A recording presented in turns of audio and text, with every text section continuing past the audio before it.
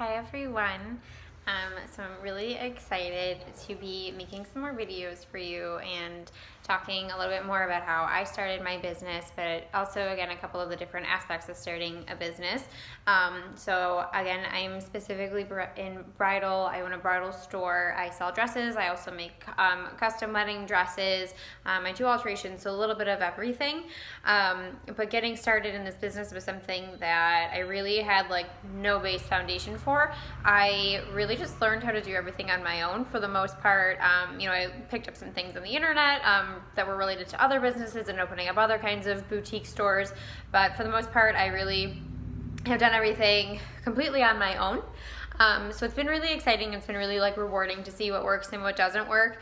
Um, so it's been really interesting. That kind of brought me to this video today is something I've thought about a lot is really like marketing yourself and getting your business out there and getting like your name out there because I mean people are going to tell you there's the basics of having storefront signage if you have a storefront.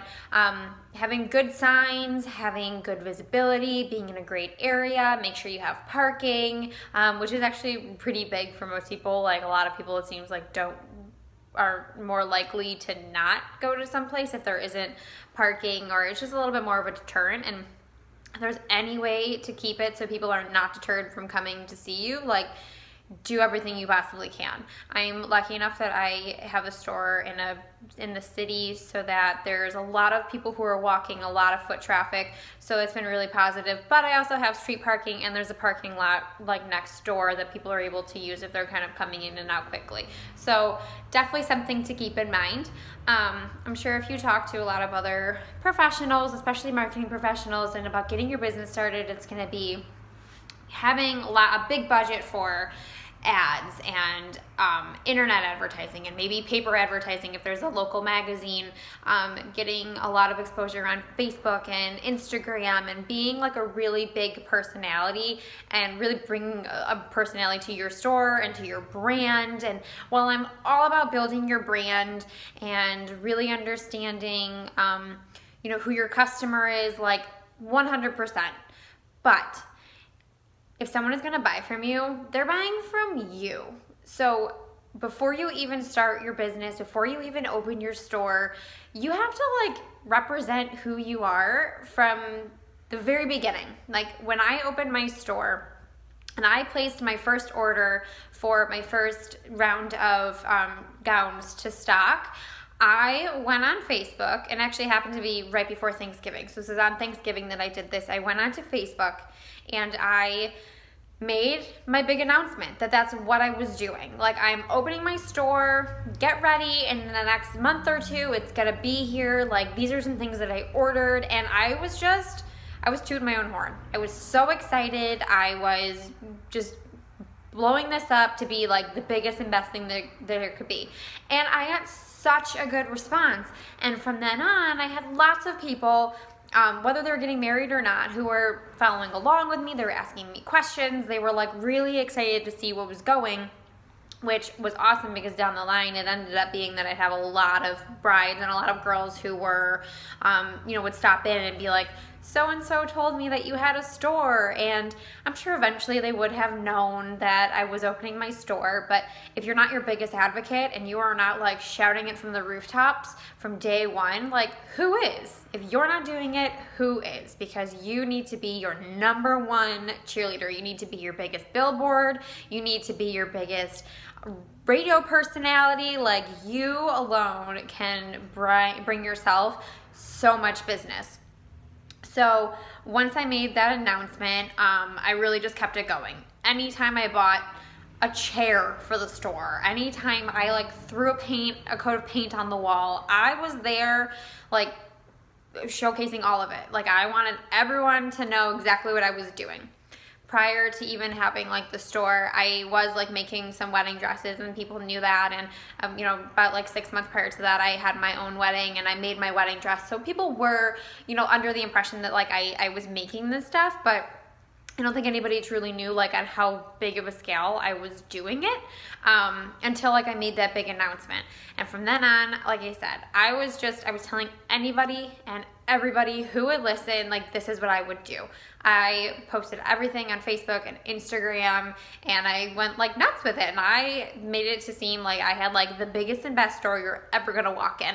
Um, and you know, I am a smaller boutique, so it's not to say like I don't have a ton of stuff, but you know, it's it's definitely a lot different than going into like one of your bigger chain stores and seeing hundreds of dresses on racks that people don't really like love and care about like the way that I do. So like I took this totally different approach of it being, you know, a small boutique, it's intimate, it's private appointments, you're gonna get champagne and it's just gonna be us and it's gonna be like girls' time and with like your friends and your family and whoever comes and it's gonna be like this really special place to be. And like people loved it. Like people ran with it because they knew they weren't going into again like a david's bridal or an alfred angelo and you're sifting through the racks next to somebody else next to you.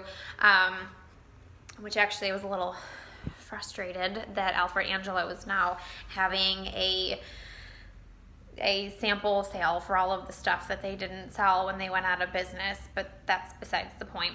So, really, like what you need to do, or like what I would definitely say is a big thing to do, is to just market yourself like your personal self as much as possible because i mean when you are the owner of a business whether it's you and somebody else or maybe you have some employees or eventually will like at the end of the day you are the face of your business. So you have to get yourself out there. Like, go meet people, like, walk up to local businesses, introduce yourself, like, reach out to anybody who could potentially help you out and that you can also do the same for and just make connections because those are going to be the people who are going to remember that there is a human like a human with like a beating heart and passion and love for their business at that store. And they're going to be way more likely to send business your way because they know that there's a real person that cares cares enough to to to be that friendly and to be that person so, I mean, take the time and invest in your advertising and invest in good signage for your store and really learn and understand Instagram and Facebook and all of the other social media platforms. But 100% you need to market yourself. Like, blow everyone up with what you're doing and how amazing what you're doing really is. And I swear you will see such a big return because people care. Like, people want to know that they're going to a business that cares. Like, for me, being in bridal, like, it is a really more like intimate experience and it's a once hopefully once in a lifetime thing that you're going to do. Um, so really making sure that people understand that like you're a very like niche place to be and it's a special place to be is going to be huge for you. And even if you own like another type of boutique where maybe you're selling clothes or jewelry or handbags or something else, like that doesn't mean that you can't stand apart from everybody else. Like there's probably tons of new stores that are popping up all over the place and especially with the internet, they're they're everywhere. Um, but knowing that there's a person behind it with like a story and with love behind what they're doing, it's gonna be so much more likely for them to come to you because, like, eventually they're going to fall in love with you and they're gonna wanna see the person behind the scenes doing everything. And they'll follow your story and they'll be really excited to see you and maybe they'll love like your personal style and they'll be like wanting to go shopping at your store because they're like she looks so good. Like i want to basically shop her closet which is you know her store. So i mean it's 100% in your best interest to take the time and just invest in yourself. Like whatever you have to do like invest in yourself and you as the face of the billboard face of the business. Like treat yourself like you are a billboard. You are a walking, talking advertisement for yourself. So I hope that this helps. And if you have any questions, I'm definitely going to dive into more about collaborating with other businesses and other business owners because that's been something I've been doing and it's been huge and there's a whole lot that comes along with that. Um, but I hope this little tidbit of information was a little bit helpful and kind of gives you a different perspective on, on getting yourself started. Thanks.